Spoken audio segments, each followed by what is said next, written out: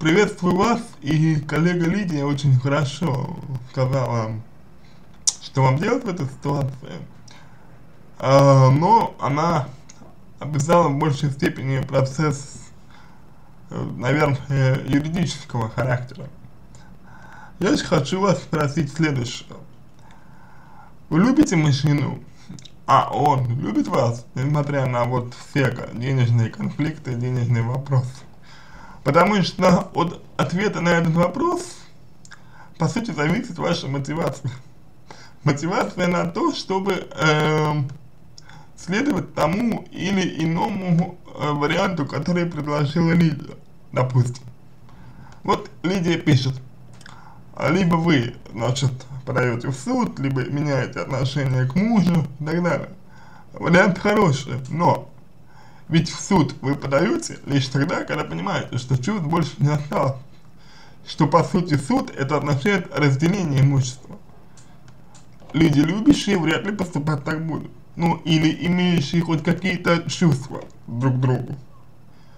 Если вы хотите менять отношение к своему мужу, то это возможно лишь в том случае, если вы все-таки, несмотря ни на что, его уважаете, любите и цените.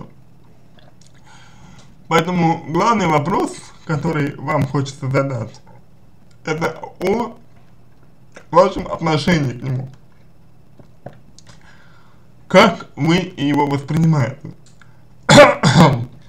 Понятно, что вам обидно, но поскольку такая линия поведения мужчины была, как я понял, изначально, то она идет как бы фактом. То есть вот у меня такой мужчина. Он таким был всегда. И он не изменится. И вы, наверное, принимали его таким, как он, такой, таким вот раньше. Правда, плохо, что он а, поднимал на вас руку. Вот этот, этот момент единственный, который а, действительно, вот действительно, на все сто процентов, а, значит, показывает, что он вас не уважает. Еще момент, что он вас не уважает, а, является упрек в том, э, что он смог заработать, а вы нет. Ведь, ведь у каждого свои способности, на вас ребенок, на вас хозяйство. Если бы ничего этого не было, то, может быть, вы зарабатывали бы больше него. Подобные изречения не являются справедливыми. И это показывает, что мужчина, в общем-то, относится к вам пренебрежительно, относится к вам не очень-то уважительно. Он не ценит вас, и вы это знаете. Но если такое отношение к вам у него было всегда, то сложно что-то говорить о нем плохое. Потому что, ну, изначально он так к вам относился. И вы об этом знали, вы на это согласились. Соответственно, раз согласились, значит, видимо, отдавали себе отсчет ведь в том, что вас ждет. Видимо, надеялись, что изменится. Не изменилось. Люди вообще очень редко меняются, к сожалению. Такова правда. Так вот, а, если он вас не уважает, значит, соответственно, скорее всего, и не любит. Потому что уважения любовь невозможна. А, и остается вопрос, вы готовы с этим мужчиной жить дальше? Готовы ли вы терпеть все это? Если, если готовы, то ради чего? Для чего? Наверное, семейный психолог, я сейчас не говорю про конкретного эксперта, а именно вот вообще семейный психолог, и психоаналитик сказал бы вам, что вы зависимы от него. Вот такие вот зависимые отношения. Он тиран, вы жертва, и вы находитесь в полной зависимости от него. Вы знаете, я не думаю, что вы в прямом смысле этого слова жертва. Я не думаю, что вы зависите от него. Но вам нужно определить для себя, вот вы готовы с этим мужчиной жить дальше? И ради чего вы терпите? А дальше что, что к нему чувствуете?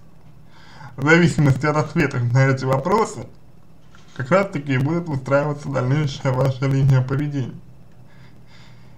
Если, допустим, э, выяснится, что вы мужчину не любите, тоже, и с ним вы только, скажем, ради ребенка, то в такой ситуации, естественно, нужно подавать в суд, как и говорит Лидия, а, четко понимая, что не себе вы таким образом жизнь не облегчаете, ни ребенку, который наблюдает все эти ссоры, скандалы, крики и так далее. Вряд ли поведение отца, как вы заметили, играет ему на, играет ему на пользу, потому что действительно а, а, папа воспитывает не очень хорошее отношение к женщине своим поведением у сына. То есть, в зависимости от того, какая у вас эмоциональная подоплека а, к мужчине, и стоит, значит, строить свое поведение. Далее вы пишете, вы пишете, как мужчина относится к вам, но не пишите, как относитесь к нему вы. То есть, то есть, считаете ли вы его позицию верным? Считаете ли вы его аргументы правдивыми? И если да, то почему? А если нет, то почему? Попробуйте аргументировать э, ту или иную точку зрения, да или нет. И в зависимости от этого вы поймете, где больше аргументов, где они более твердые, более э, логичные. Это и будет верная позиция. Если, исходя из ваших ценностей, из ваших представлений о семейной жизни, из вашего позиционирования себя как женщина, вы поймете, что мужчина в общем и целом прав, и здесь не важно, как считаем мы, Главное, как считаете вы, потому что это ваша жизнь. Если вы считаете, что мужчина прав в целом, то тогда, тогда просто нужно подкорректировать ваше поведение.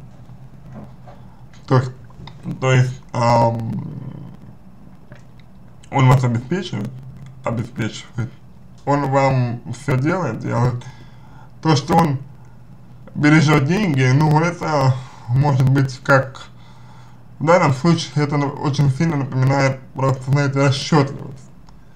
Такая черта у людей есть расчетливость. Куда без расчетливости нельзя заработать достаточно много. Может так оно и есть. Ваш, муж, ваш мужчина, по крайней мере, не заработал бы много, если бы не вел учет этим деньгам. Деньги любят счет, так, по крайней мере, говорят. И за все приходится платить, платить.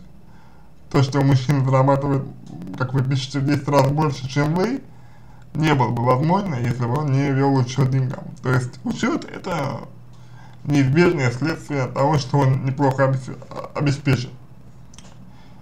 Но это же дает ему э, уверенность в себе и, наверное, излишнюю, излишнюю самоуверенность. Но так получилось, что человек не знает меры. Если же вы считаете, что мужчина не прав, и думаете, что его поведение неверно в корне, то, соответственно, терпеть его не нужно, потому что это не делает вас счастливой. Вряд ли вы ему это докажете, потому что, как правильно опять-таки сказала Лидия, он не изменится. И вам нужно думать уже о себе. Мужчина о вас не думает. Мужчина не стремится сделать вас, сделать вас счастливой. Мужчина не заботится о вас. Мужчина, наоборот, вас всячески принижает и напоминает о том, что вы хуже него. И вот в этом случае, если вы считаете, что его поведение неверно, нужно защищать свои интересы самостоятельно. Как? Уже решать вам. Есть возможность уйти, уходите. Так, по крайней мере, жить будете спокойнее. Нет возможности уйти. Ну, нужно начинать, начинать тогда